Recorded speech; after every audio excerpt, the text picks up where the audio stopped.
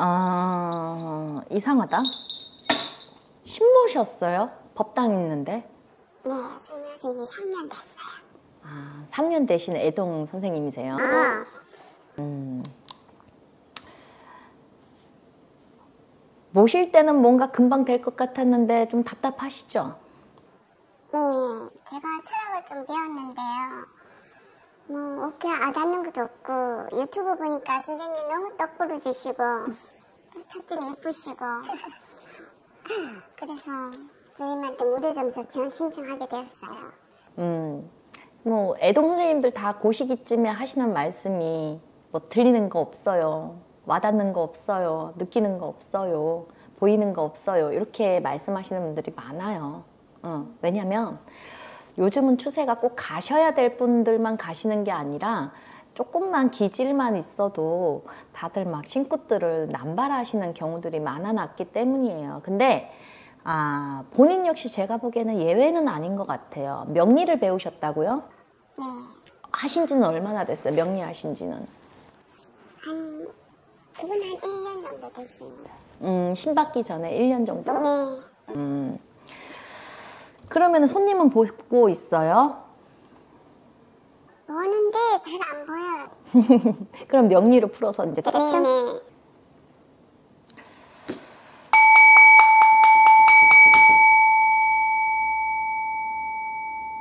우리 그 신가물 하고 조상가물 하고 또 신가물 중에서도 이렇게 신의 제자가 되셔야 하는 분들은 약간씩의 차이가 있고 그 약간의 차이가 굉장히 또 결과적으로 커요. 어, 조상가물은 말 그대로 보여지는 현상은 어떠한 그러한 절대적인 어떤 그 나와는 상관없는 환란도 많고 이상 행동도 일어나고 이상 질병도 일어나고 이런 거는 뭐 신감을 조상감을 다 마찬가지겠지만 근데 그 원천이 조상에 있는 것이고 닦이지 못한 그리고 신가물들은 신의 기운에서 오는 집안의 내력에서 오는 그런 것들로 이제 환란이 일어나는데 본인 같은 경우에는 신가물이 있기는 있는데 그게 무당으로서 어떻게 자리를 잡아서 확 그렇게 편안하게 가기에는 그 신줄은 조금 약하다는 거예요. 어, 말하자면 선녀가 압을 쓰고 그리고 이제 불사가 압을 쓰는데 이게 불사보다는 세존이 압을 서요.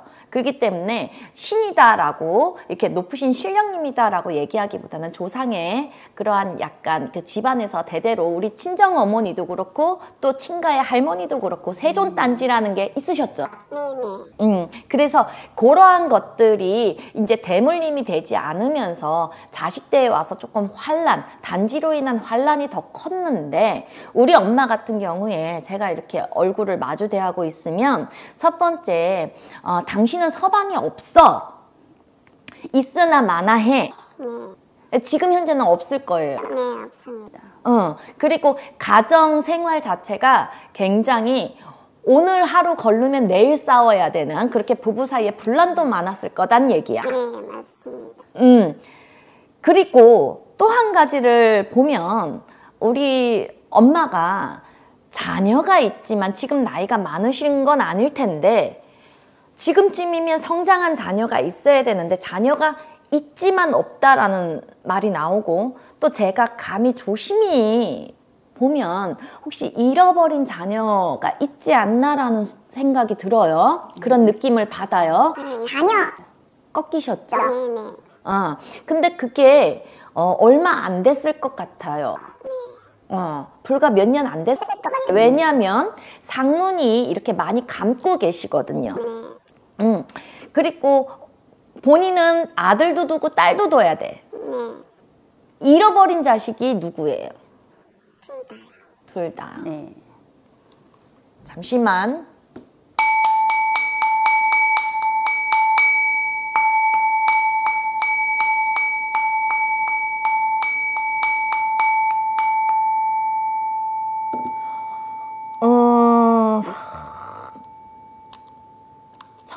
검게 이렇게 사자의 기운으로만 보였고 지금 다시 조금 더 이제 따님을 불러들었을 때 우리 따님이 어, 훤칠을 하십니다. 키는 한 160이 훨씬 넘어 보여요. 165 이 정도. 네, 맞습니다. 음, 그리고 쌍꺼풀이 없어요. 얼굴은 하얗고 머리는 길어요. 네, 음. 그리고 이 친구가 직업이 없었던 것은 아니에요. 네네. 근데 직장 내에 조금 사람들로 인해서 많이 힘들었고 특히나 어떠한 그러니까 우리가 원앙이라고 표현을 하는데 이성으로 인해서 굉장히 어 이러한 사고가 나기 얼마 전부터는 굉장히 외롭고 힘들고 우울증에 많이 시달렸다고 하거든. 알고 있었어요? 음, 자세히는 모르고 그냥 대충 눈치는 채고 있었습니다. 그렇기에 이 친구가 사고로 간 것보다는 어떤 질병으로 간 것보다는 스스로 생을 마감했던 걸로 보여요. 어떻게 갔어요? 네, 스스로 음, 뭐 약을 먹었어, 목을 맸어. 목을 맸어. 목을 맸네요. 그러고 나서 얼마 안 돼서 지금 딸 뒤로다가 보이는 게 또 아들이에요. 근데 이 아들은 직업은 없었던 것 같아요. 막 이렇게 바쁘게 했던 것 같진 않아요. 살아생전에. 네, 근데 굉장히 소심한 아들이었어요. 네, 그리고 아무리 나이를 먹어도 엄마 이 끈달라서 엄마 엄마 엄마 엄마 엄마 찾는 또 그런 아들이었고 네, 네, 바깥에 활동을 잘 안 하려고 했어. 일찌감이 이 아들을 자, 당신 원래 신이 왔었으면 당신 아들이 박수가 됐어야 됐거든요. 얘가 16, 17부터 자꾸 무언가 사회적으로나 친구 관계 이런 것들이 어, 부조화가 생겨나면서 방 안에 또 스스로 자꾸 갇혀서 내가 보는 마지막 생의 모습은 컴퓨터만 이렇게 보고 있는 뭐 게임을 했든 컴퓨터 검색을 했든 방 안에 갇혀 지낸 은둔 생활을 많이 했다라는 거예요. 네, 맞습니다. 그런데 난 조금 우리 할머니가 음, 앞에 계신 제자님한테 조금 야단을 치시려고 하는데 이유는 뭐냐면 네가 애미냐 그러시거든. 제가 느껴지기에는 아이들이 자 첫 번째 따님이 사고 나기 전에 어, 이 아이가 무언가 정신적으로 힘들고 굉장히 위태하다라는 걸 본인이 알았다는 거야. 그런데 해뭐손 쓴 거 있어요? 네, 없습니다. 너무 이렇게 너 그냥 신경을 너무 안 써주셨어. 네, 맞습니다. 그러다 보니까 우리 딸이 그 순간을 못 넘기고 자기 생을 뜻하지 않게 스스로 마감을 했고 그리고 우리 아들이 누나를 많이 의지하고 또 엄마를 많이 의지했는데 톡 까놓고 너 밖으로 돌았다 이 얘기야. 우리 아들이 누나에 대한 이 상실감이 너무 컸어요. 그리고 원래 고독한 아이였지만 이 아이가 10대 후반부터 고독한 아이였지만 그래도 누나를 많이 의지를 하면서 음, 누나를 많이 의지를 왜 엄마 끈달아서 엄마 엄마 찾는데 내가 보기에 너 집구석에서 애들 돌보거나 살림하고 이러지 않으셨어.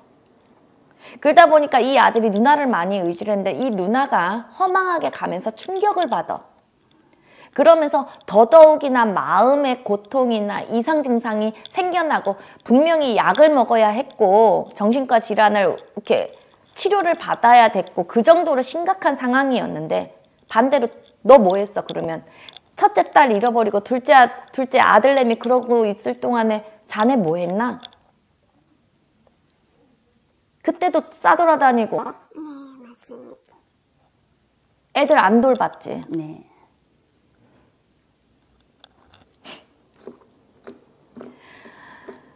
근데 그게 불과 3, 4년이 안 됐어. 근데 아까 말씀하시기는 신받은 지 횟수로 3년 됐다고? 그러면 첫 아이 보내고 둘째 아이 그렇게 다 안 좋게 보내놓고 불과 1년도 안 돼서 어? 부모 잃고 그 자식 잃고 그렇게 상복 상중에 계시는 분이 지금 신을 받았다는 거야? 뭐가 들리고 보이고 막 이러셨어? 아니지. 왜 받았어요? 솔직히 말하면은 내가 얘기해 볼까? 내가 이제는요. 요즘에 내가 기운이 딸려갖고 승질을 못 내요. 어, 자꾸 이제 화병이 생겨가지고. 아, 내가 지금 가슴이 막 짜증이 날라 그래요. 어? 좋은 뜻으로 저한테 좋은 감정으로 오셨는데 제가 좋은 얘기가 못하고 막 화가 날라고 하는 게 우선 첫 번째 애들 살아있을 때도 너는 품아, 품에서 떠나는 그 순간 너는 네 인생이 중요했어. 가정불화가 있었고 남편하고 사이가 안 좋고 허구한 날 싸웠던 것도 너가 너무 이기적인 면이 컸었기 때문이고 어? 그리고 애들이 힘들고 엄마한테 손을 내, 내, 내밀었는데도 불구하고 너는 나 몰라라 했어. 정신을 얻다 두었기에. 그 얻다 둔 게 바로 바깥에 나는 사람이 더 보인다는 거야. 그리고 지금까지 그 인연이 끊기지 않은 걸로 보여요. 그러니까 그 만남은 한 5, 6년 되셨던 것 같아. 미친년이지. 너 미친년이지. 애들이 특히나 이 큰 딸 같은 경우에는 직장이 확실하다 그랬잖아. 얘는 관이 있었어. 어? 그렇기 때문에 무언가 얘가 죽으면서 뭔가 보상을 받던 아니면 보험금을 받던 애들로 인해서 네가 금전이 한편으로는 생겨난 게 있었을 거야. 애들 죽으면서 보험금 탔지. 너 그 보험금 어쨌니? 애들 진옥이라도 해줬니? 내가 보기에 저 망자들 시커먼 게 어? 사자에 매여 있는 게 진옥이를 제대로 받거나 천도를 해, 해준 아이들이 아니야. 했어 안 했어요? 그럼 그 돈 어쨌어요? 내가 보기에 그 돈 쥐고 있지도 않네 지금. 그 돈 어쨌어? 그 돈 어쨌냐고? 어? 그 친구 사업 자금으로 갔지. 미친년이지 네가. 그러면 왜 신을 받았냐? 애들 상 치르고 돈 떨어져서 신 받았어.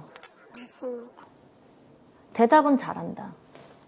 그러고 무슨 네가 어디라고 와가지고 지금 신당 앞에서 어? 제자 행세를 하고 어? 신이 있네 없네 보이네 안 보이네 어? 주제도 모르고 집 분수도 모르고 어? 야 제자 아무나 아니? 너는 지금 죄인이요 하고 어? 엎드려서 내가 자식 못 지킨 죄인이요 어? 내가 잘못했어 내가 잘못했어 조상에도 빌어야 되고 신령님께도 네 업을 닦아야 하는 마당에 감히 누구 인생을 설계를 하고 누구 고민을 네가 풀어낸다는 거야 어? 너는 뻔뻔할지 모르겠지만 그래도 너희 그 불사라도 어?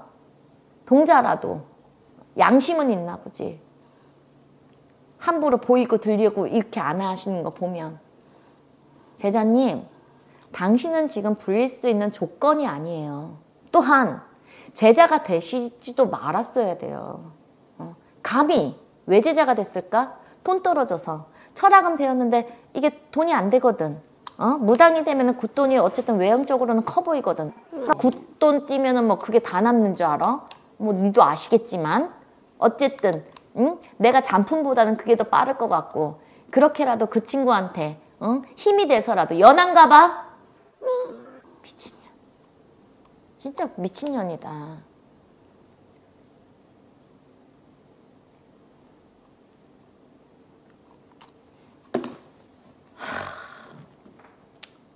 신굿이 똑바로 안 된 것도 아니고요. 어? 당신은 상중이에요. 죄인이에요. 죄인이 감히 어떻게 신령님의 의대를 잃고 덩덕궁 덩덕궁을 해. 물 떠놓고 지켜주지 못한 당신 아들, 딸들 저승에서라도 편하게 어? 걔들 원달 내고 한달 내면서 자중하고 기도하는 제자가 되세요. 기왕지사, 어? 내가 신의 밥을 먹을 것 같으면 그러다 보면 밥은 안 굶겨. 근데 어? 어쩜 그렇게 아직까지도 애들 보내놓고 애들 생각하면 네가 그 새끼한테 정신만 안 팔렸어도 애들 그 순간 모면할 수 있었고 지금 이 순간에 옆에서 활짝 웃고 있을 아이들이야. 정신 좀 차려요. 에? 제자라는 소리가 쉽게 안 나오네. 정신 좀 차려. 불려요? 당신 못 불려요. 감히 어떻게 불려? 감히 어떻게 불려? 밥은 먹고 살 수 있겠지. 응? 조상이 와서 불쌍하다고 너까지 생목숨 끊지 말라고 하지만 엄마 이 상태로 더 가면 어?